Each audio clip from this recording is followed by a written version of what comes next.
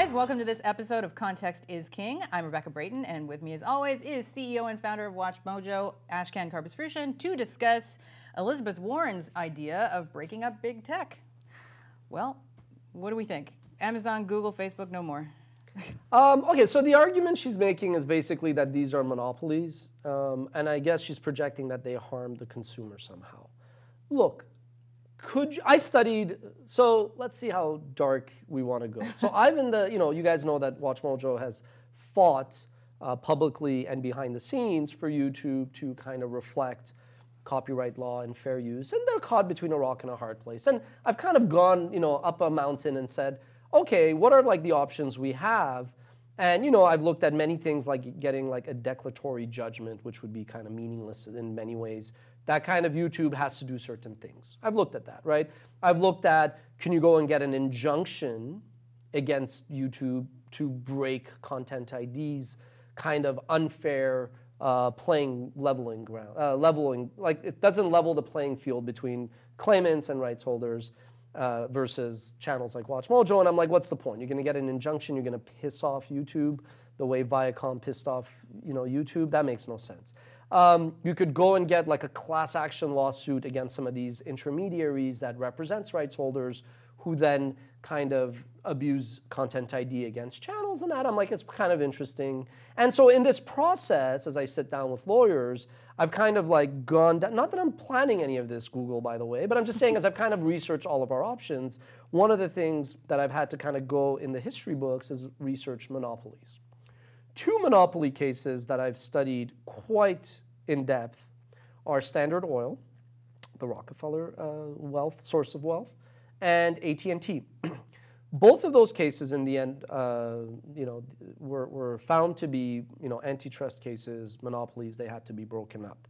And to really, really distill it, the issue was that they had. I mean, there's a whole checklist, but the issue was that like these companies had dominance vertically, horizontally, um, and they kind of hurt. They killed competition and hurt consumers, right? so if you wanted to break down uh, Warren's argument here, is you would have to go and draw a checklist of AT&T, uh, Standard Oil. She's referring to Microsoft, but Microsoft is a weird case to cite here. We'll come back to that in a second.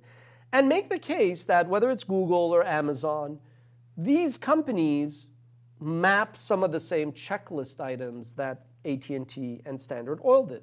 And I have a document sitting somewhere in a vault that can make that argument. The challenge, though, is I, am sure somebody at Google is hacking into my Gmail, by the way, as we speak. I think the challenge is more can you then take the next step, which I think, I'm not sure, I'm not a lawyer, by the way, I just pretend to be one. You do have to demonstrate that there is some harm to the consumer. Do you really care that Google Maps, Gmail, YouTube, and Google are all part of the same company? No. No.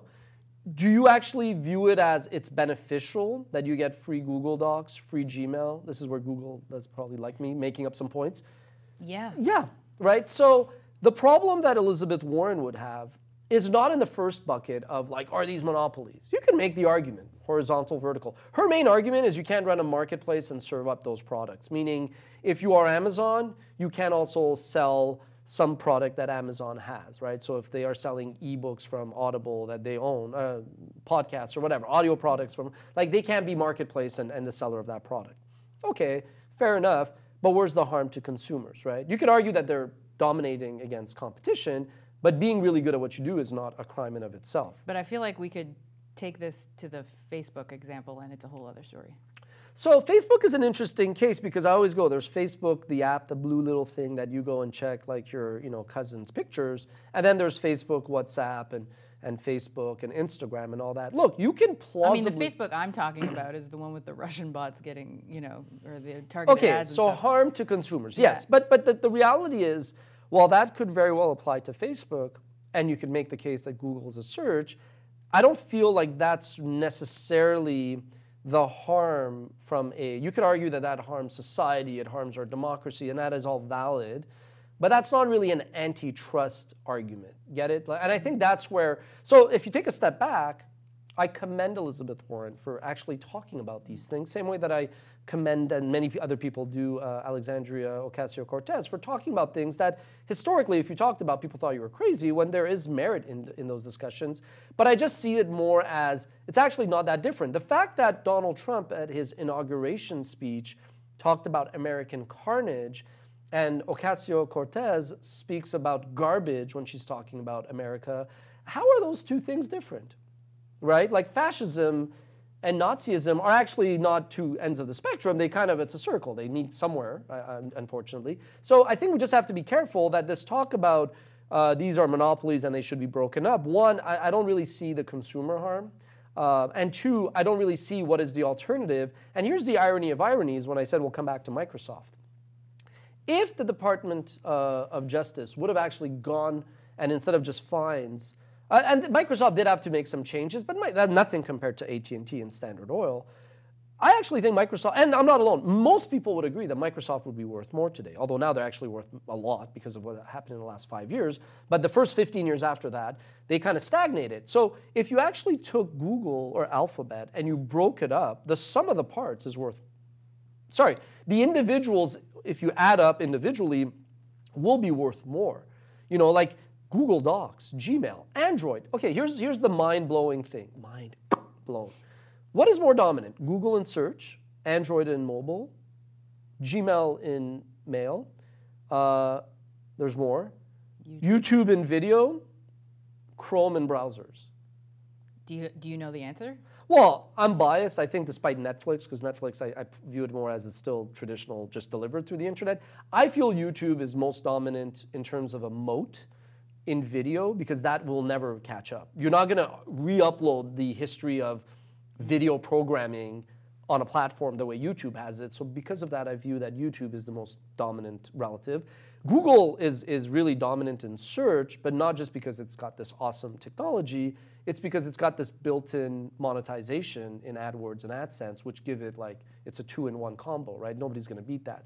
Um, Android is beyond kick-ass, but you could argue that Apple and iOS could always mount to come back and, and come back and gain market share.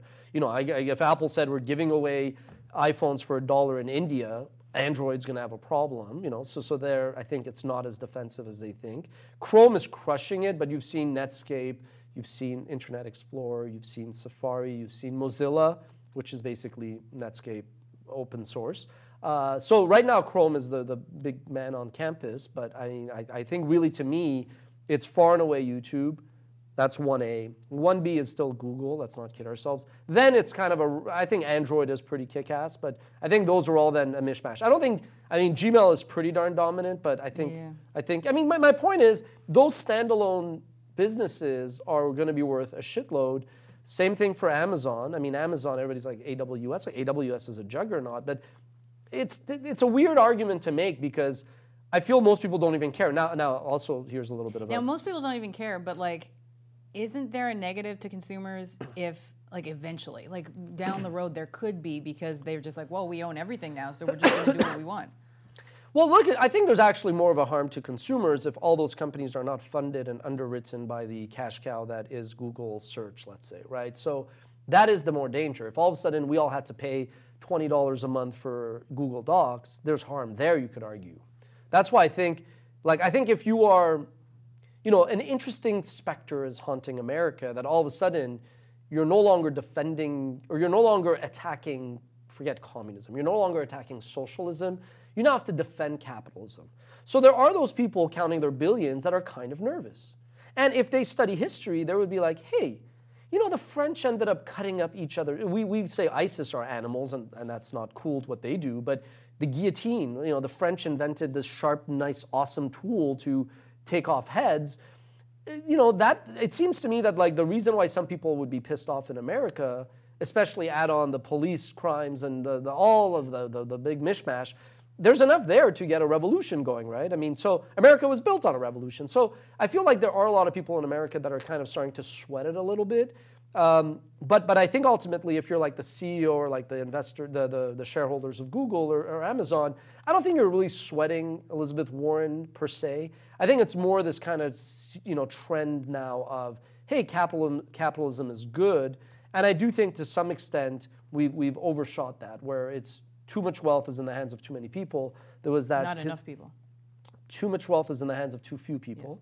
Uh, and, and I do think that like all you know what that dude at uh, Davos was saying was true that it's great that you got Bono sitting around and talking about philanthropy, but you know the argument that like the rich don't pay enough taxes, yeah, I mean no shit Sherlock, it's it's it's true, right? But but I think now what's happening is there's people like politicians who are just coming out and saying things for shock value to cut through you know the clutter and to get the headlines. But some of them don't necessarily rep- uh, present like okay so what is the alternative that's better? I don't really think i would benefit if all of a sudden google could make more money because it can't underwrite google docs and i got to pay $30 a month for google docs. That's $30 that i'm not buying you know shampoo for my thick illustrious hair you know I, I wish I remembered the wording better, but it was every billionaire is like a policy mistake. Or I would say like every. I would. I would. I don't disagree. I think every billionaire is a loophole. Like there is a loophole that, you know. Look, I like to be clear. I'm not sitting on. We're not billionaires or. But I will say this: that our accountants, you know, once you run a corporation, your accountants and lawyers come to you with intricate ways to avoid paying taxes. And I've always said it. I'm like, no. I'm like, I don't mind paying taxes pay your goddamn taxes. Like it's like you know, like you benefit as a society, especially here in Montreal, Quebec. I know my American, our American friends are going to go crazy with this. We pay, we could, we have the option of paying a mere seven dollars a day for daycare. Awesome daycare, all right.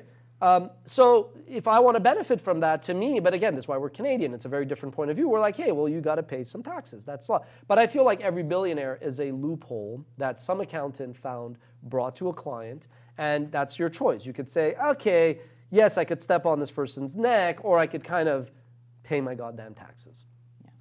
Well, there's a lot to unpack here. what do you guys think? Uh, let us know in the comments and check the link below for more. See you next time.